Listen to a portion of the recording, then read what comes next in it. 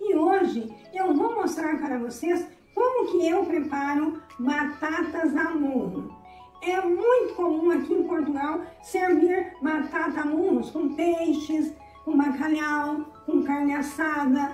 E eu tenho visto na internet pessoas a darem receitas que não tem nada a ver com a batata murro portuguesa, como se faz aqui em Portugal. Então eu vou mostrar para vocês como que eu faço a minha batata murro. E eu começo escolhendo as batatas que são bem pequeninas, não pode ser batatas grandes, tem que ser pequenas. E com uma esponja que eu deixo somente para esse tipo de coisa, eu lavo debaixo da água e esfrego com a esponja para tirar todos os resíduos que tem na, na, na batata.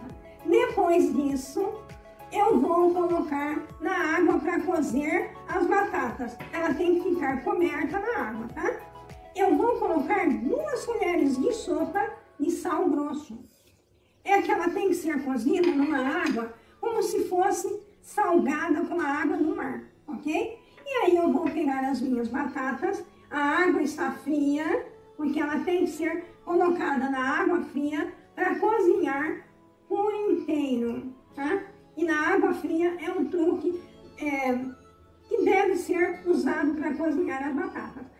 Antes de eu colocar as minhas batatas para cozinhar, eu quero pedir para vocês é, que deixem o seu like e se inscreva no meu canal, acione o sininho para receber notificações e não deixem de comentar, ok? Agora, vem comigo! Depois de um tempo, eu testei a batata, espetei a faca entrou facilmente e segurou. É o ponto certo.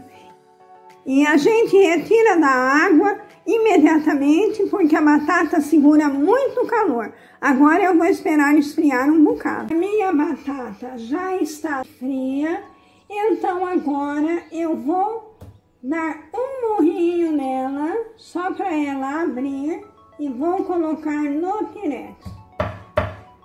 Olha. Ela só dá uma abertinha de leve. É um murrinho, só para ela abrir assim. Vou colocar aqui. Só mesmo de leve. Olha. Muito simples. Assim. Simples assim.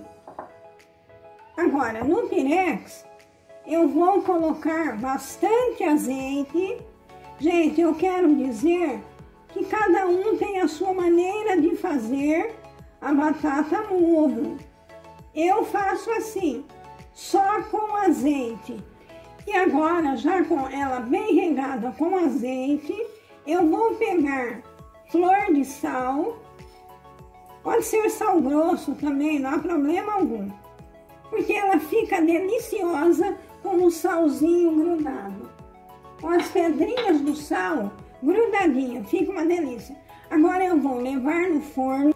O forno está ligado a 250 graus. Vou deixar até ela ficar douradinha. É assim, enquanto a minha batata está no forno, eu vou preparar o meu tempero para batata. Vou colocar mais ou menos 50 ml de, de azeite e vou colocar o alho, que eu já piquei aqui. Aqui tem cinco dentes de alho. Vou colocar um tanto assim de alho, mais ou menos, tá? Para ir fritando devagar, lentamente, ok?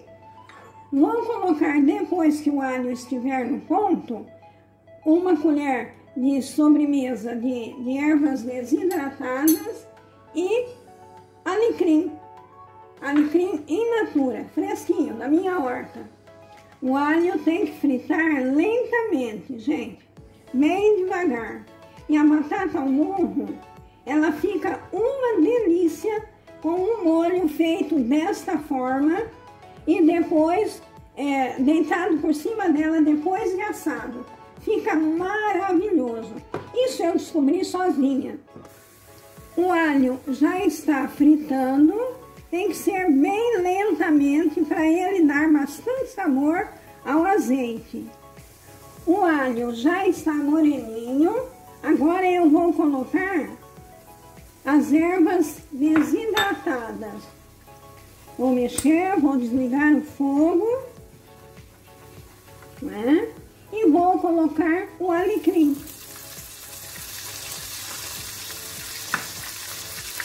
O alecrim dá um sabor, hum, e o cheiro, que delícia! Todo especial. E está pronto o meu molho para as minhas batatas a murro, que já estão quase prontas. A minha batata ficou pronta. Olha que coisa linda. Tá vendo? Que lindeza que ficou isso. Deixa eu colocar mais perto. E aqui eu tenho o molho que eu fiz. Eu tirei da frigideira, que era para ele não passar do ponto. Agora eu vou regar a minha batata com isso. Olha que coisa deliciosa, gente. Essa é a minha batata murro. Há quem faz diferente, há quem coloque é, manteiga, mas eu não ponho nada disso, porque eu acho o azeite muito mais saudável. Olha a delícia disso, gente. Eu vou colocar dois raminhos de, de alecrim, só para ficar bonitinho. E já está pronto. Olha isso. Tá super quente, né? Mas olha que coisa linda e deliciosa. Vocês viram como é fácil de fazer uma deliciosa batata murro. Da próxima vez, façam igual a minha, que vocês vão se surpreender com o sabor. E eu não preciso nem experimentar para saber que está deliciosa, não é? Então, como é que está essa batata? Uma verdadeira delícia. Uma verdadeira delícia. Tá vendo, gente? Olha só. E ele tá comendo com carninha e acha maravilhosa, não é, vida? Uhum. Hum? Muito bom. Muito, muito bom. Eu não ia mostrar, mas diante dessa, dessa forma dele dizer que está maravilhosa, eu Ah. resolvi mostrar. Tá, Isso é muito bom, pai. tá vendo? Muito bom. Uhum. E então, é mesmo boa? Muito bom. Hum, que bom. Fico Ah, feliz. Muito bom, muito bom. Fico muito feliz que você tenha gostado. Caramba, se gostei. Tá bom, então. Beijinhos, gente. Beijinhos a todos. Fiquem com Deus. E pensamentos positivos sempre. Não deixem de fazer a minha batata murro. Não é vida? Uhum. Hum? Esta é a melhor. Beijos. Tchau, pessoal.